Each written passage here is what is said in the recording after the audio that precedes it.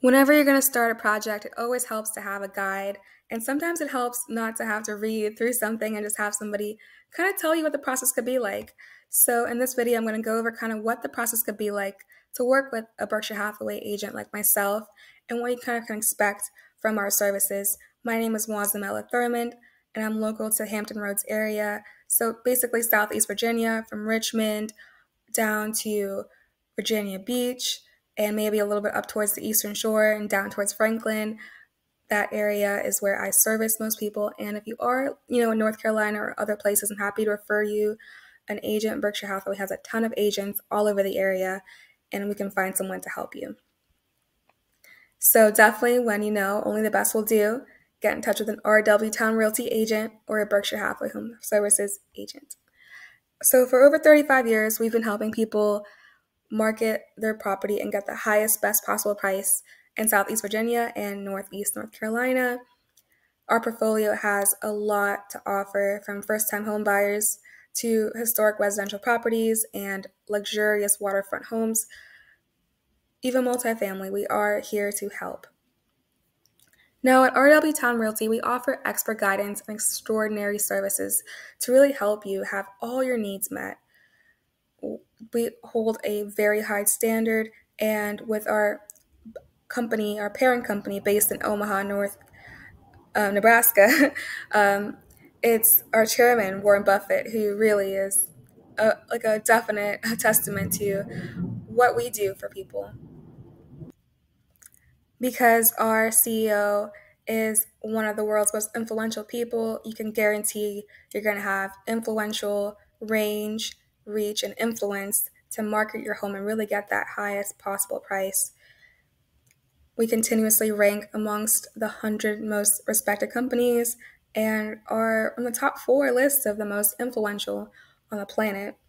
Number 8 in Fortune 500's 50 most admired companies surveyed, and number 18 in Harris's most interactive, reputable study of the 60 most visible companies. So if you're going to sell your house and get the highest price, you're going to want to be seen, and we're going to make sure you're seen. A real estate agent's job is really to guide you through the process. It can be complex, there are a lot of surprises. One in four deals actually closes exactly the same way that it started. So you really need somebody who's going to be there to go over the hiccups and get you through that. So if you're thinking about, you know, financing, appraisals, inspections, closings, all of that we have available in house as a, as a full service. And as your agent, I am definitely committed to protecting your interest throughout the entire process. We are committed to integrity, honor, professionalism, and expertise. When you meet with the Berkshire Hathaway agent, you can expect to go over the market conditions and really develop an understanding of the right price for your home compared to other recent sales in the neighborhood. We work to find the best places to market your property, including the local multiple listing services, which is what agents have access to, and then as well as websites and social media and anywhere you might see a property marketed. Helping you to prepare or stage your home is key, so we'll definitely always suggest small improvements that can make a big difference anything from arranging furnitures to choosing paint colors or choosing whether or not to remodel or sell as is are key because when we go over exactly what you can net, that is kind of where we see really the decision making start to make sense.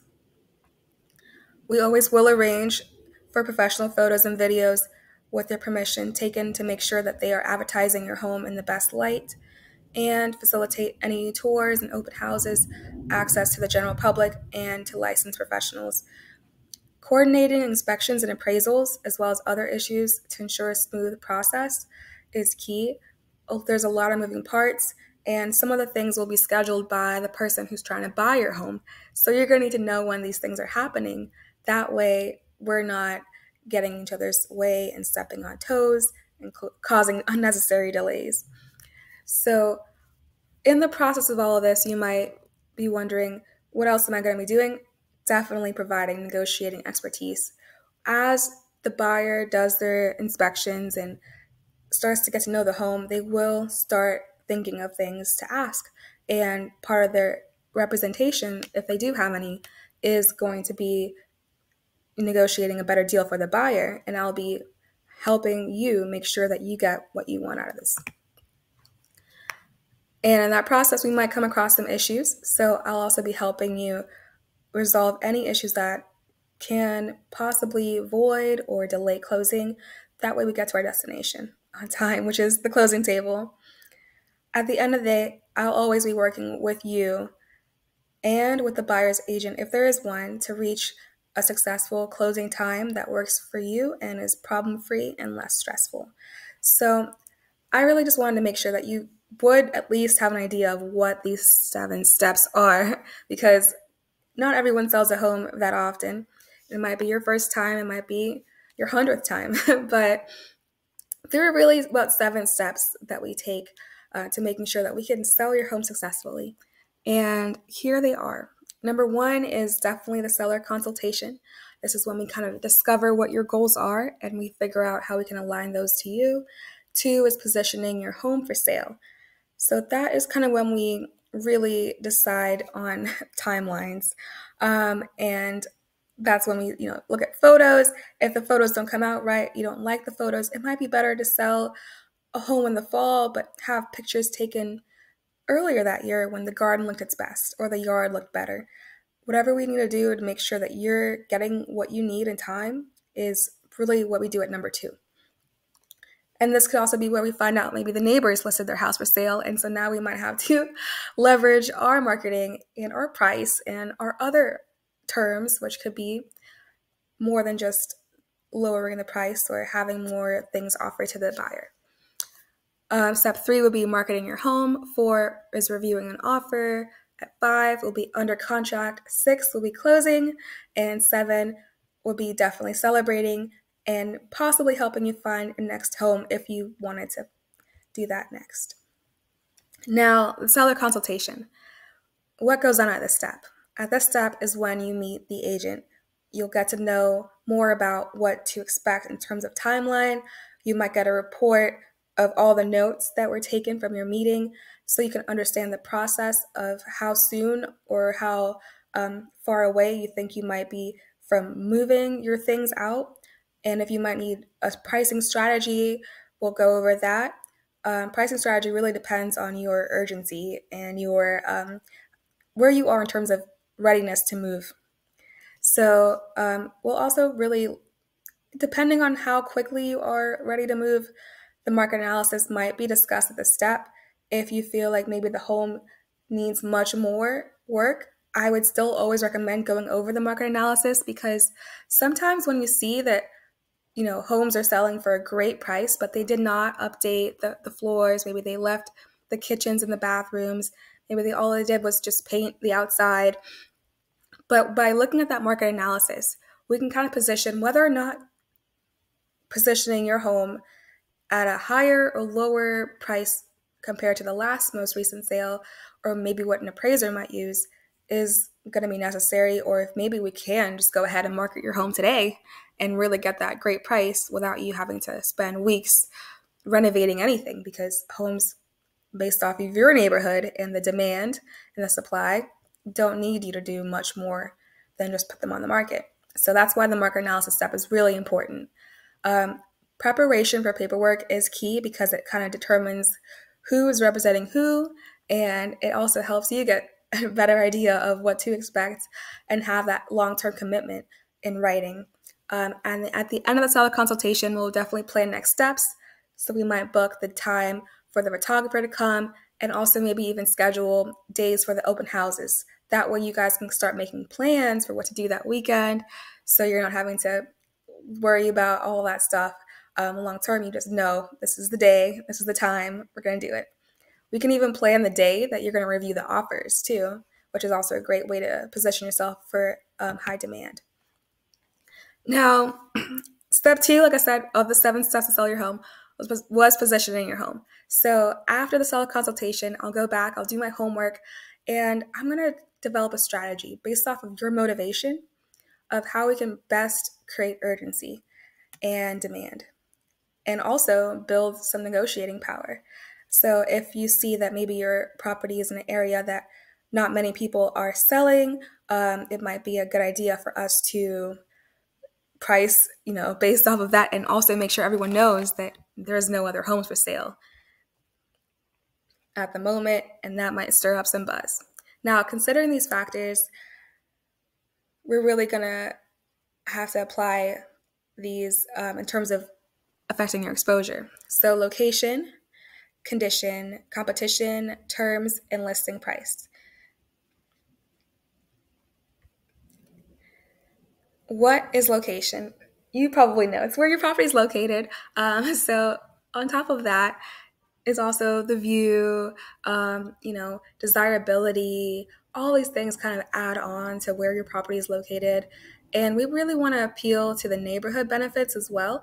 And if there's anything that you think would attract you or attract your neighbors or coworkers, I'd love to go over those things and make sure that we highlight them. Condition is also going to affect your exposure. So if we provide a video or photos. Um, these are going to be something we're going to see online. And online presence is really most people's first impression. About 90% of buyers start their home search online and they just find a home and they click the link and they're like, oh, I love the pictures. I want to go there. And it might show the outside. So curb appeal also is really key as well. Um, I want to make sure we highlight these things and just create a really inviting place uh, that feels really open and allows people to kind of use their imagination and picture themselves there because it leaves a positive impression and doesn't have any lingering things that might take away from the beauty of the home, like clutter or too much furniture or some smelly odors or strong paint colors that kind of um, don't really speak to what most people might expect from a home. And that's kind of the reason why even like new construction will do one paint color in most of the house uh, on the first floor and then not really do too much different colors upstairs. So number three in something in the factors that position your home um, for exposure and maximum exposure is competition. So a lot of the times we're going to be doing doing cmas uh, for every single property that i go to i always do a cma beforehand and i'll do one the day we go live. I might do another one in the weeks leading up, depending on how many days we have to get ready, uh, just so we can keep an idea of the market and what is going under contract, so we know what people's at, people uh, are accepting, and if things are even under going under contract, because that shows that there are buyers writing offers. So I really want to help you just create an accurate idea of what um, demand is, because at the end of the day, price is something that the market decides, but if we don't position ourselves in the right price point, we don't get seen correctly. So benchmarking kind of puts us also in a place where we look at okay, if I'm looking for a home between 150 and 200k and our house is definitely worth maybe 199, it might be best to put the house up for 200k knowing that it's just a little bit overpriced because it might be so similar to a property that's only worth 215k and those buyers are looking at 200 to 225 possibly. And so if we position our home at 200K, that benchmark puts you in two different price points. That way you get seen by more, more buyers um, than you would have if you just put your home up at 199 and cut off everybody who might not be looking at homes below 200K.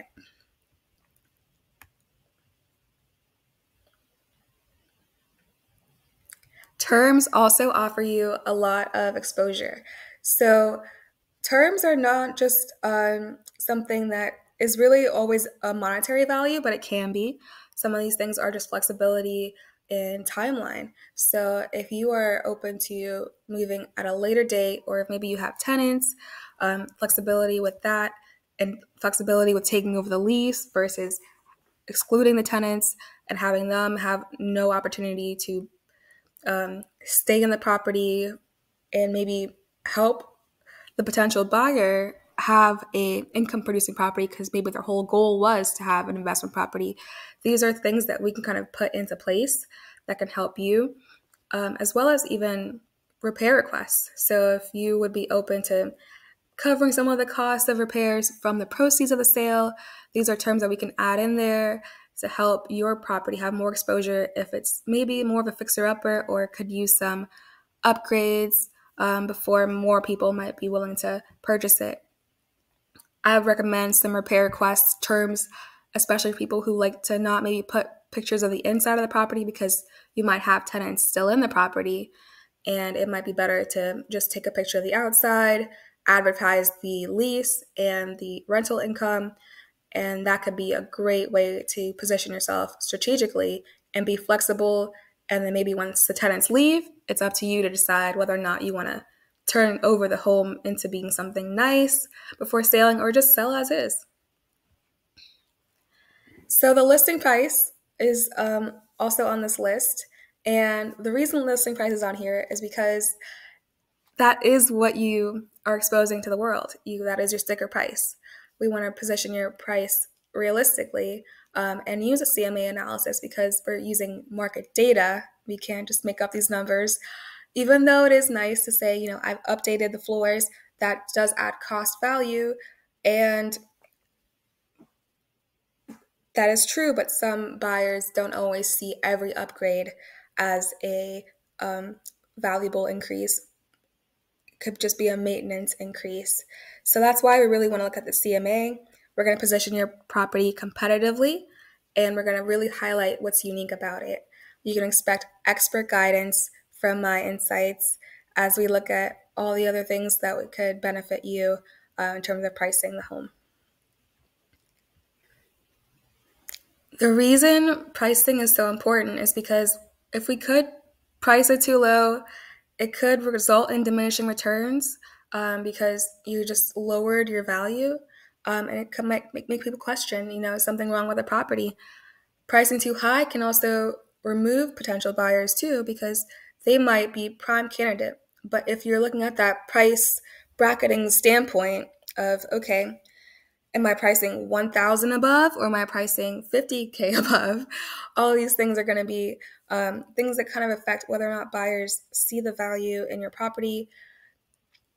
And it's going to be up to us to really ensure that the words in the description warrant whatever the price might be considered on that scale of too low or too high.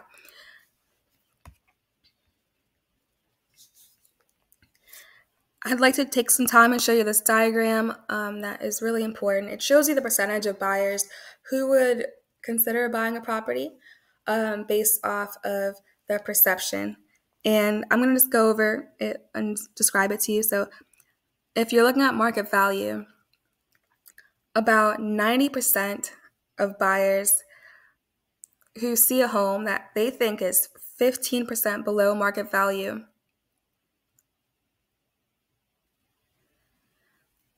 would buy it. They'd say, yep, that's a great deal. So just by pricing 15% below market value, you can expect a quick sale because 90% of buyers will think it's a great deal. If we go 10% below market value, now we see about 75% of buyers would now consider buying the property and they would say it's priced competitively, so you could expect multiple offers.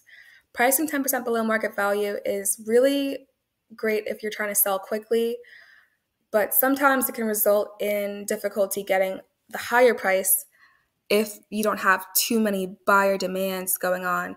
Um, so if not too many buyers are around, you might be better off kind of pricing it at market value, um, just because when there's when it's a buyer's market, you're more likely to have sitting because they have more options, and you don't want to not pay attention to that. Now, if you were to price a property at market value, which is exactly what a property might appraise for. Roughly 60% of buyers now will consider the property reasonably priced. um, and that, at that case, it still will probably sell. Now, the problem here is when we start going over market value. So sometimes we do make upgrades and it is warranted to get that, or sometimes you just haven't owned the house long enough and you need that extra 10% to help cover the cost of closing. So you might decide, hey, let's just price it for 10% above market value and just see what the buyers say. When we did 10%, this study right here shows that about 30% of buyers now consider buying the property. And this is where we start seeing some buyer resistance and people start perceiving it as not a good buy. When we went over 15% or more, that's when buyers, only 10%, would consider the property. And at that point, it's usually priced too high and likely not to sell. So if you have noticed, maybe you've tried to sell in the past, you didn't get many showings, you could have had a problem with this where the market value was affecting the percentage of buyers who consider buying the property. And you probably should have priced it at market value, done some more CMAs, um, and just kind of done multiple ones, just really see, you know, what is the best price and kind of go below that. Because once you get multiple offers, it will bring the price back to market value, so you're not losing any money in the process. So, one of the things that we will definitely do as a company is promote to prospective buyers. We offer print advertising, online, open houses, and other marketing materials. Marketing to real estate professionals is also key because they have the buyers. About 90% of um, buyers are still using agents based off of last year's sales and all the data collected. So it definitely is important that real estate agents know that the home is for sale so that they can invite their buyers and get paid. uh, the Berkshire Hathaway Home Services Network is who we market to. We also have our relocation referral resources. Um, and this is international and all across the country as well because we are a very global brand.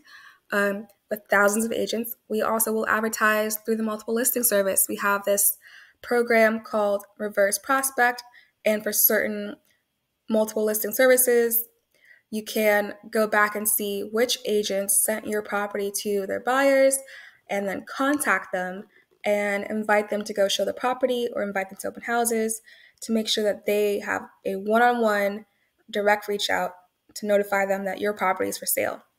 And this can do wonders for your property and visibility because that one agent might have 10, 15 buyers, 20 plus, who are all looking for a property that we just sent.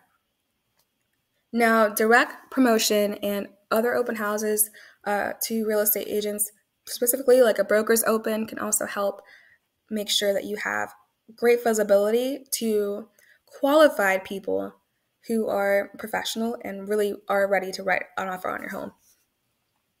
Communication with you is also something you can count on. We will review all the marketing activities and the results with you. So if you want to know how many views we're getting on social media or if people are clicking the links, we'll do that as necessary.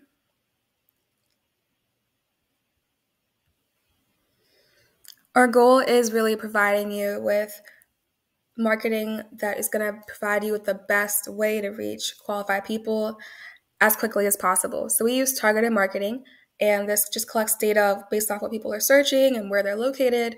And then we kind of design a custom marketing plan around that. You can count on our in house marketing team as well. We have a whole division of marketing people who are great um, and provide custom work that can be developed. And if you want to do brochures or magazines, even an RW Towne uh, newspaper, you can do that as well. And we can review that to make sure that your home stands out and is competitive and get you the quickest sale with the best price possible. Yard signs are something we offer too, so you'll have those. Um, for passive buyers, we could do direct mail as well if you're open to that, as well as print advertising. Brochures are key.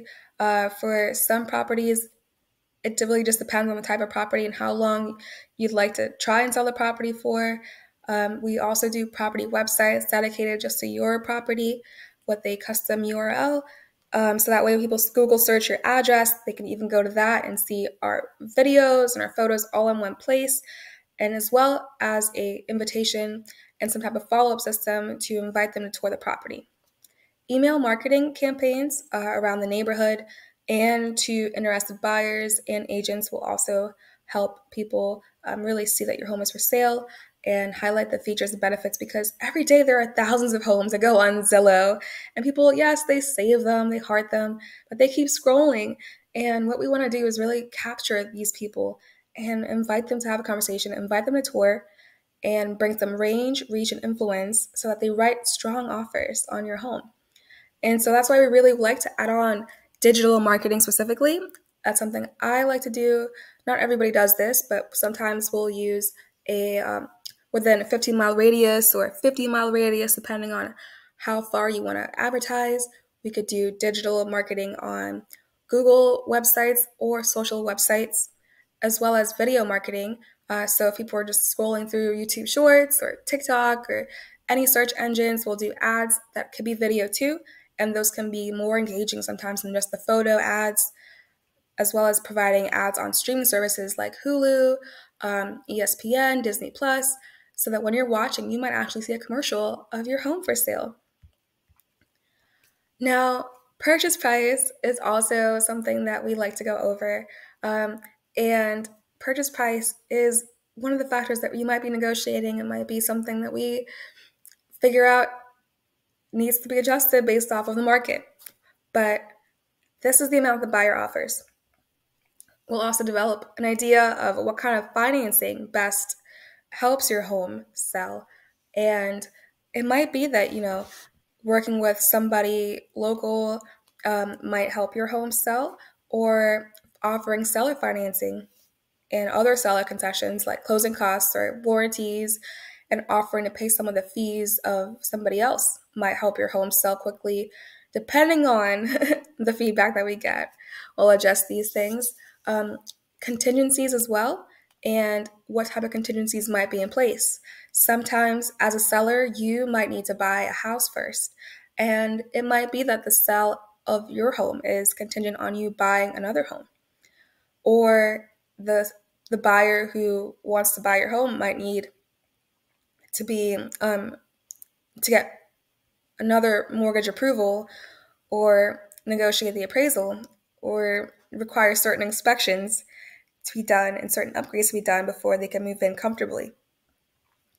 You might also decide that some of your personal property is stuff that you don't want to take with you. You might have some really big furniture that you're just not ready to take with you. um, so we might be negotiating some of these personal items and selling your home furnished could actually make you way more money than selling your home without the furnishings. Now, closing costs um, and occupancy dates, as well as timelines and moving dates, are something we also would discuss with you. We have a lot of great tools for that to help you figure out what what to do best. Um, now, reviewing an offer once it gets once it gets accepted or rejected or countering is something that I will be representing for you, but I will be on your side evaluating and helping you understand what the numbers really mean. Uh, so that way you don't make a, a decision that has consequences that you didn't intend for. Once your home is under contract, we'll be getting your home ready uh, for the kind of the walkthrough and going over what, what goes next. Because um, you've reached an agreement, we have to really make sure we stick to a strict timeline. And that timeline might include inspections and appraisals or repairs. So sometimes it is beneficial to do a pre listing home inspection, especially if you've already known about pre existing issues and you've tried to address things or maybe started but didn't finish addressing something. Marketing that can be an advantage. That way you don't know. Um, you don't know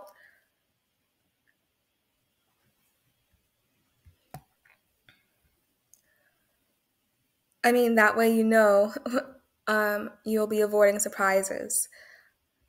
But it's not necessary because in Virginia, buyers um, usually have the responsibility of doing their own inspections and having their own representation.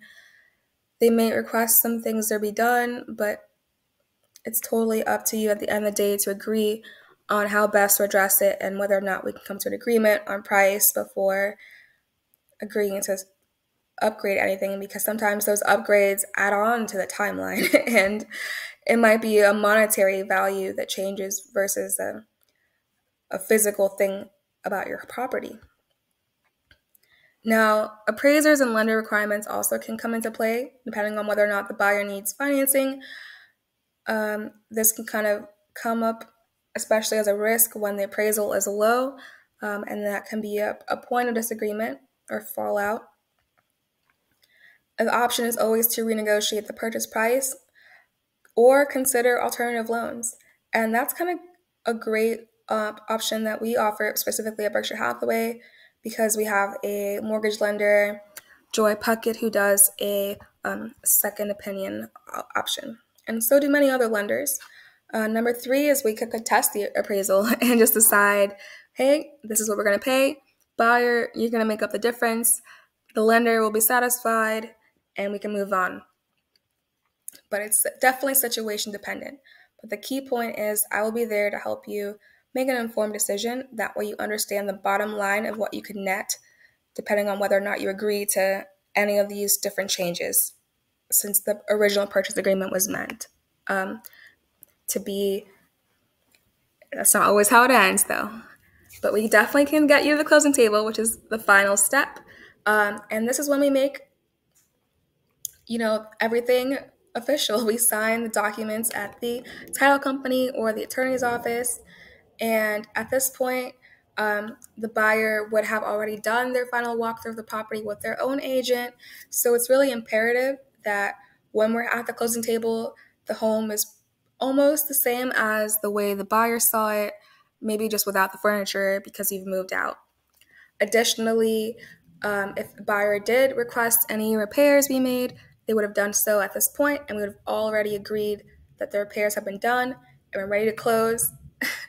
so the next step would be that the seller signs the necessary documents. Usually, the seller would do it first, um, but it can be the buyer signs first, and then the buyer will sign the necessary documents. They'll usually never meet in person and just have separate signings. Um, and then the settlement agent, which could be an attorney or a company like RW Towne Title, will receive the buyer's mortgage funds, down payment, and any other cash to purchase the home. And then step three would be that the settlement agent records the transfer of the deed and reconciles all the money required to transfer the title from the seller to the buyer. Once this is complete and recorded, you'll receive the proceeds of the sale from the settlement, and the settlement agent will pay off an existing mortgage if you have one, and the buyer will receive the keys to the property, which I can provide directly to the sell to the seller's um, to the buyer's agent, um, and then they'll be allowed to move into their house whenever they can. So, if you have any questions at all about the real estate market, the selling process, the buying process, how it could look working together, please feel free to reach out to me. My name is Mwazomela Thurmond, and again, my local Berkshire Hathaway Home Services RW Towne Realty agent, serving mostly Hampton Roads, but I do go all the way up to Richmond and down to Franklin and towards the Eastern Shore as well as towards Virginia Beach. But I am based mostly in Newport News, in York County on Peninsula, and the South Side. If you're ready to do something, I'm happy to help you reach your goals. Thank you for watching.